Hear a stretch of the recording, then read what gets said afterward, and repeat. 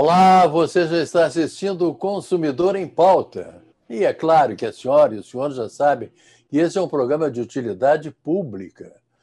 A nossa TVE resolveu fazer esse programa de segunda a sexta-feira porque ele é realmente um programa de utilidade pública e que atende a todos os anseios dos telespectadores que nos assistem. E olha que não são poucos. Vocês têm aqui direito do consumidor, direito do trabalho, direito comercial e direito previdenciário, direito imobiliário, direito de família e sucessões e direito previdenciário. São esses os temas que nós tratamos aqui no programa. E tratamos sempre respondendo às perguntas de vocês. Vocês tirem todas as dúvidas que vocês tiverem a respeito de qualquer um desses assuntos através do nosso e-mail consumidorempauta.tve.com com.br através do nosso WhatsApp 985-946-773. São os endereços que nós temos para que vocês mandem as perguntas para a gente aqui, para que os nossos convidados possam responder. Se você quer assistir esse programa no Facebook, você só digita ali facebook.com TV Pública RS e vai lá e clica no uh, ao vivo. Então você assiste o programa em qualquer lugar que você estiver, inclusive no seu telefone. Se você ficar com alguma dúvida ainda, pode tirá-la amanhã, às 7h15 da manhã. Nós estamos reproduzindo o programa apresentado hoje. Tá bem? Então vamos lá para não perder muito tempo. Nós temos um prazer muito grande de tratar hoje de Direito Comercial. O nosso assunto de hoje será a prorrogação dos programas do governo para a manutenção de emprego e renda. E quem vai falar conosco, com muito prazer para todos nós, é o senhor Evanir Aguiar, que é contador, mestre em economia, ênfase em, controla, em controladoria especialista em auditoria em perícia, sócio e diretor operacional da Fortus Group, especializado em contabilidade e recursos humanos, contas a pagar e receber, tributos e serviços financeiros. Viu só? Fui qualificar o Evaneiro, levei quase cinco minutos no programa, mas com muito prazer. Boa noite, Evaneiro, tudo bem? Boa noite, boa noite, Machado, boa noite a todos os telespectadores. É, da mesma forma, é um grande prazer para nós da Fortus né, estarmos aqui contribuindo com o nosso conhecimento para um tema tão relevante para a nossa comunidade, que são os programas do governo para manutenção de emprego e renda, que muito importantes para esse momento de dificuldade que toda a população está passando. Né? Então, é um prazer estarmos aqui mais uma vez contribuindo. Realmente, Evanir, é, hoje nós já estamos em setembro, no dia 16 de setembro, e muitas empresas fecharam, muita gente ficou desempregada, e o governo tem feito de tudo para tentar auxiliar de alguma maneira as pessoas que ficaram nessa situação complicada. Mas será que isso vai terminar logo? Será que vai continuar muito tempo? Qual é a Olha, sua opinião a respeito, Evanir? Minha opinião. Minha opinião é que quando nós tivermos uma vacina, e aí a esperança é grande que para dezembro, início do ano, nós já tenhamos essa vacina né, contra essa doença tão terrível que está aí assolando todo mundo, eu acredito que somente depois, quando nós tivermos a vacina, é que realmente as coisas vão voltar da forma que nós é, estávamos é, vivendo anteriormente, né, uma nova realidade. Mas nesse momento, realmente, todos esses programas que o governo é, tem anunciado e é o que realmente está salvando muitas pessoas. Nós tivemos desde o início da pandemia até agora, mês de setembro, mais de 62 milhões de pessoas beneficiadas, então, com os programas de governo. Só agora, com a prorrogação, mais 1 milhão 150 mil pessoas estão sendo beneficiados então pelos programas do governo aí que é, é, estamos falando aqui de manutenção de emprego e renda, mas também salvou muitas empresas que permitiu aí a negociação de, de, de parcelas de, do, dos impostos, do Simples Nacional, do Fundo de Garantia, postergação, permitiu redução de jornada, permitiu a nova categoria de home office de uma forma mais facilitada. Então, o governo realmente está fazendo a parte dele, agora prorrogando aí por mais é, alguns meses, mais quatro meses aí, mais algumas parcelas é, de benefício, né, de auxílio aí emergencial para as pessoas mais, mais necessitadas que estão passando por toda essa dificuldade financeira. Então, aí só temos a saudar e, e dizer que foi muito importante, está sendo muito importante essa prorrogação aí dos programas do governo. Que bom. Boas notícias, boas informações. Todos nós estamos torcendo para que tudo acabe logo e que as coisas fiquem cada vez melhores. Ivanir, eu vou agora para as perguntas que nós temos aqui. E, e a primeira vem lá da cidade de Alvorada. Quem nos faz é a Camila Silveira.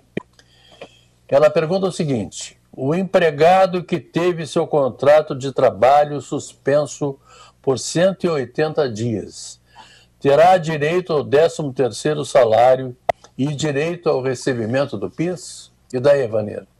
Ah, muito bem, boa pergunta. É, e, e isso é uma, um esclarecimento muitíssimo importante. Essa suspensão, então, do, dos contratos de trabalho então, com o pagamento aí do bem, né, o benefício emergencial pelo governo para os trabalhadores, direto do governo para os trabalhadores, sem passar pelas empresas, diga-se de passagem, as empresas não estão pagando por este benefício ao governo, ao Ministério da Economia, não é? Então, os contratos tiveram a suspensão, é, ela, eles, o, o, empregado, então, terá direito ao 13º salário e, e ao PIS, não é, que é a pergunta, proporcionais ao número de meses que efetivamente trabalhou ao longo do ano de 2020. Então, se a pessoa teve aí os 180 dias de suspensão, ela terá direito, então, a, a proporcionalmente, né, 6 dozeavos de fé, é, 13 terceiro e proporcionalmente também ao PIS. Então, é muito importante. Isso vale para qualquer tipo de suspensão, não somente neste momento estamos passando, né, mas outras suspensões de contrato de trabalho têm também essa característica de interromper o contrato por aquele período, então a pessoa fará jus a uma proporcionalidade ao número de meses que ela esteve trabalhando. Então a suspensão ela vai tirar, de certa forma, não é, alguns meses deste benefício, né? A próxima pergunta é feita pelo Paulo Fonseca, que mora aqui em Porto Alegre também. Na prorrogação que foi feita, o empregado com contrato de trabalho intermitente terá direito de receber o auxílio emergencial mensal por mais dois meses? E qual será o valor? Boa pergunta, é, pergunta. É, é uma pergunta, mas que a informação não é muito boa, né? Na verdade, quem tem o um trabalho intermitente, aquele que é chamado, vamos dizer assim, por demanda, não é? Tem um contrato diferenciado, ele teve direito, então, no primeiro momento, a três parcelas de é, 600 reais e agora mais, depois teve mais uma de 600 reais. Então, essas foram uh, as parcelas a que fez jus o trabalhador né, com um contrato intermitente de, de trabalho. Né? Então, teve quatro parcelas de 600 reais. A dona Maria, que mora na cidade de Gravataí, que é autônoma, ela pergunta o seguinte: Ainda não me cadastrei para receber o benefício emergencial. E ela quer saber se ela pode se cadastrar ainda, Maria. Sim, dona Maria, a senhora pode se cadastrar, só que não esquecendo que agora o valor do benefício não é mais 600, é 300 reais. E tem algumas regrinhas que o governo colocou agora, não é? Nessa nova prorrogação aí dessas parcelas que vão até dezembro. Então, o governo fez aí algumas regrinhas novas. Então, se a pessoa é, fez a entrega da declaração de imposto de renda no ano passado e tinha rendimentos isentos acima de 40 mil reais, bens acima de 300 mil reais, é, voltou, né, não é o caso da Dona Maria, mas quem voltou à condição de, de, de, trabalho também não terá esse benefício, assim como os presos em regime fechado também não terão direito a benefício, mas sim, no caso da Dona Maria, poderá fazer a solicitação né, do seu auxílio emergencial, e só que sabendo que o valor é 300 reais, não mais 600 como era antes. E ela vai receber, fazendo agora o, O cadastramento ela vai receber até o fim do ano, daí, ou não? Até dezembro. Até dezembro. Houve uma prorrogação, então, do, do auxílio emergencial em mais parcelas até o mês de dezembro. São parcelas de 300 reais. 300 reais, exatamente. Tá bom. A, dona, a pergunta agora é da dona Joana, que mora aqui em Porto Alegre também. Fui admitida em junho e a empresa poderá me incluir nesse programa de redução salarial como alguns funcionários? E aí, Evanira, pode ou não pode? Não pode. Infelizmente, não é só para os empregados admitidos antes de 1 de abril né, de 2020. Né, então, 1 de abril foi a data aí que houve, então, a medida provisória lá do governo e dizia, então, naquela medida provisória, que depois se transformou em lei, que os empregados, então, admitidos até a, o dia anterior. Então, quem foi admitido a partir de 1 de abril, hum, infelizmente, não, não faz jus nem a redução e nem suspensão de contrato. Até porque o que se é. quer é preservar o emprego e a renda, não é? E se a pessoa foi admitida depois desse, desse período aí já inicial lá do estado de calamidade pública, então é porque o emprego e a renda dela estaria, né, beneficiar, é, preservado, né? Pois é, ela foi admitida em junho, quer dizer, em junho nós estávamos em plena pandemia e em plena quarentena, essas coisas todas. E ela foi admitida, sinal de que a empresa estava bem. Exatamente, exatamente. É, é, porque tem dois vieses, não é? Essa questão da preservação do emprego e renda. Tem o viés do emprego, do empregado, no caso, mas também tem o viés da empresa, que é, por uma questão econômica, não é? Caindo, então, aí toda a nossa a renda das empresas, ela talvez tivesse que fazer, tomar alguma medida, e aí nessa medida seria provavelmente a redução de, de, é, de vagas de trabalho. Então, se a empresa está conseguindo manter e ainda ampliando o seu quadro, então é positivo, mas não fará jus ao benefício da redução de jornada e suspensão de contratos. Né? Evander, vou fazer uma pergunta fora aqui do, do, nosso roteiro aqui, mas é uma pergunta particular minha que eu tenho curiosidade e tenho certeza absoluta que, que obteria uma boa resposta por parte de, do Evander. Você acredita que muitas pessoas continuarão trabalhando home office ou não, depois de passar dessa pandemia? Eu não tenho a menor dúvida. 100% de certeza que uh, essa experiência que foi forçada no primeiro momento, até agora, Machado, é, por conta de liberação de certas atividades por parte dos é, governos estadual e municipal, muitas empresas e empregados estão fazendo acordos de trabalho em home office ou uma forma mista de trabalho. Na nossa empresa, né, no caso lá no Grupo Fortus, nós temos pessoas que já poderiam estar é, trabalhando 100% presencial, mas que alguns dias estão ainda permanecendo nas suas residências, por uma questão de é, adaptação mesmo. Há uma adaptação tanto da empresa nas questões tecnológicas, de permitir que é, no caso, a empresa de serviço, não é que é possível fazer isso, a questão tecnológica, a estrutura para que o empregado desenvolva o seu trabalho em casa e a própria estrutura da pessoa, a pessoa termina se adaptando com essa nova forma de trabalho, uma economia de tempo, com deslocamento, nesse momento, naturalmente justificado pela é, não circulação e aí, né, se preservar a sua saúde, mas também por uma questão de adaptação da empresa, dos empregados sem que isso venha prejudicar a, o rendimento é, dos empregados. Eu é, estou muito feliz, muito satisfeito com a nossa equipe, que nós conseguimos uh, manter o atendimento com excelência, mesmo à distância. Nós estamos com em torno de 30% da nossa equipe presencial, os outros 70% estão home office, estamos atendendo 100% a necessidade dos nossos clientes. Mas não apenas para a nossa empresa, outras que nós temos conhecimento, da mesma forma os empregados estão se adaptando muito bem. Então, é uma realidade que veio para ficar, Machado.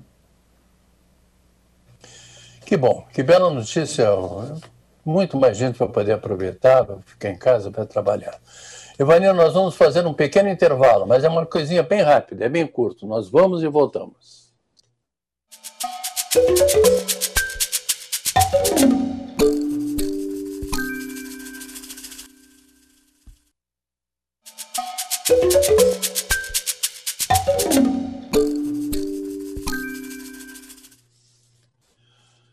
Esse é o programa Consumidor em Pauta e nós estamos tratando hoje de direito comercial, estamos falando sobre pro, prorrogação dos programas do governo para manutenção de empregos e renda. E quem está conversando conosco é o Evanir Aguiar, que está respondendo as perguntas e que acaba de nos dizer uma coisa que eu acho extremamente importante, que é a continuidade de, de pessoas que trabalham em home office a partir de, do final disso tudo que nós estamos passando. Evanir, eu quero lhe fazer uma pergunta agora que, eu, que vem do telespectador Gilberto.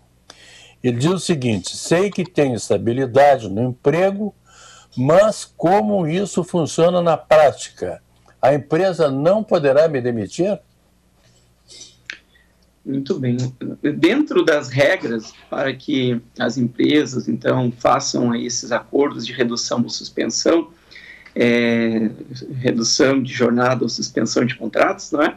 é? Dentro das regras está uma previsão de estabilidade por igual período ao que foi dado, então, essa, o que foi feito este acordo. Então, Gilberto, se tivesse uma redução de jornada, por exemplo, de 50% do horário da sua jornada, teve lá um benefício do governo, então de 50%, tens, então, é, digamos que tenha sido por 90 dias, terás direito a uma estabilidade no emprego por igual período de 90 dias. Se porventura houver o desligamento antes deste período de 90 dias, então, até que termine este prazo, né, contado a partir do retorno, fará jus a uma indenização proporcional então, se teve uma redução de jornada de 50% é, da, da sua jornada, fará jus, então, uma indenização do tempo que faltar para completar os 90 dias, não é? De 50%, ou seja, proporcional ao quanto houve a redução. Não é que não possa haver o desligamento do empregado. Poderá, só que o patrão vai ter, então, que indenizar pelo período até o final da estabilidade, né? Então, esse é o cuidado. Isso não vale caso a pessoa solicite o seu desligamento ou se fizer, houver, não, uma demissão por justa causa. No caso de justa causa ou a pedido do empregado, então, não haverá essa indenização por parte do empregador. A próxima pergunta é da dona Clara, e ela quer saber o seguinte: estou com férias programada, programadas para dezembro, mas tive o contrato suspenso por 60 dias. Como fica meu caso? Meu período será afetado? Pergunta a dona Clara. Dona Clara, a gente falou anteriormente sobre a suspensão. E a suspensão, ela suspende, então, todas essas contagens de períodos aquisitivos, inclusive para férias. Então, digamos que em 30 de novembro, né, completaria ali os seus é, 12 meses né, de direito de, uh, de férias, então iria tirar os 30 dias em dezembro. Então, como houve aí, no caso, 60 dias, se não me engano na pergunta, 60 dias de suspensão, uh, a senhora teria direito à proporção de redução dessa, desse período aquisitivo, ou seja, uh, teria direito a 10 dozeavos, não mais uh, um período inteiro, né, de, de 30 dias. Então, gente teria que ver essa proporção. Ou pode tirar as férias, então, desse período de 10 dozeavos, ou aguardar mais dois meses até ter direito às férias por completo. Mas, sim, a suspensão de contrato, ela também interfere na contagem de períodos de férias. A dona Ana Paula, que é aqui de Porto Alegre, ela pergunta o seguinte: eu e meu empregador podemos fazer um acordo de suspensão de 180 dias com início em 1 de setembro? Ela mandou a pergunta um pouco antes, eu tenho certeza disso. Então ela quer saber se ela pode fazer um acordo com o empregador dela a partir de 180 dias a partir de 1 de setembro, Vânia. Ana Paula, não. Na verdade, poderá é, haver o um acordo de redução, suspensão, que, que finde em dezembro. né, porque a, a lei ela prevê que esse, essas, esses regimes de redução e suspensão eles aconteçam até o período de calamidade. Então está previsto, né, que vá até o final do ano esse período de calamidade. Então, é, contando de setembro, outubro, novembro, dezembro, pode reduzir ou suspender por até 120 dias, quatro meses, porque 180 dias seria até o final de fevereiro e extrapolaria, então, o período de calamidade. Então, é, infelizmente, não pode fazer de 180 dias, mas pode de 120 dias. Claro que se o governo vier a prorrogar o estado de calamidade, então aí esse período poderá também ser prorrogado. Esperamos que não, né, Machado? É, esperamos que não, esperamos que as coisas passem, que as coisas terminem, mas eu acho que máscara a gente ainda vai usar na rua durante muito tempo, Evaria. Mesmo porque o governo não poderá dizer a partir de. Olha, a partir de amanhã todo mundo está liberado, não precisa mais usar máscara. É, pelo menos não sei se estou falando certo ou não. Eu concordo plenamente. É, assim como a cultura japonesa vem há muitos anos utilizando máscara, e eu acho muito saudável, é claro que anteriormente a esta pandemia era estranho ver alguém de máscara na rua, nós imaginávamos, ah, o que, será que essa pessoa tem? Alguma doença contagiosa? Quando na verdade a pessoa pode só estar se protegendo, não é? Então eu, eu vou, vou lhe dizer que se eu no futuro vir a ter algum resfriado, uma gripe, eu farei questão de usar máscara para não passar para as outras pessoas. Eu acredito que isso é um hábito que vai ser que é saudável e que tende também a vir para ficar, não é? A dona Maiara, que mora na cidade de Canoas, ela diz o seguinte: fiz acordo de redução de jornada com meu empregador de 60 dias. Como funciona para receber o benefício emergencial? Ah, muito bem. É, para o recebimento, no caso do pagamento do benefício, ele, o, o, o patrão, né, ao fazer a informação ah, ao Ministério da Economia, Secretaria do Trabalho, né, ele eh, vai informar, então, os dados da conta do trabalhador, onde vai ser feito o depósito do seu é, benefício, do bem. Uh, via de regra, vai para a conta, então, do empregado. Mas também poderá ser aberta, poderão ser abertas contas digitais na Caixa Econômica Federal ou no Banco do Brasil. É uma conta digital que não tem lá custo de tarifa, a pessoa poderá fazer transferência para outra conta, fazer pagamentos por lá, então as contas pessoais podem ser pagas por esse é um aplicativo, né, que a pessoa pode baixar então do seu celular, do, dos benefícios, é o Caixa Bem e no Banco do Brasil Auxílio Emergencial. Então tem esses aplicativos e o empregador ele vai informar então para o empregado. E também tem é, formas de consultas lá na Caixa Federal, Banco do Brasil, onde o seu benefício vai ser pago, mas não é pago uh, na Caixa Federal, não preciso entrar na fila para receber. Eu vou na, lá para sacar, né, em alguns casos, mas não é o caso do benefício e da, uh, de redução e suspensão de jornada. Né? Então, uh, suspensão de contrato, redução de jornada. Nesse caso, é depositado ou na conta da pessoa, Caixa Econômica Federal ou Banco do Brasil. Evaneira Guerra, temos a pergunta do senhor Joel, que mora na cidade de Alvorada. Meu acordo de redução de jornada foi prorrogado por 60 dias, com término em 1 de 11. Mas eu tinha férias marcadas para o período de 5 de 10 a 19 de 10. O cálculo das férias será feito com base no meu salário integral ou no reduzido? Como será, Aldo? Uma pergunta, é uma pergunta interessante, nós fazemos bastante isso na, na empresa, até porque uh, mesmo na pandemia as pessoas têm direito às férias, muitas estão tirando suas férias, mesmo ficando em casa, mas uh, o que deve ser feito é o empregador, ele deve fazer então uh, o aviso do comunicado do Ministério da Economia do, da cessação daquele, daquela redução de jornada, um dia antes da, das férias da pessoa, a pessoa, então, é, recebe as suas férias com o salário integral, não pelo salário reduzido, pelo seu salário integral.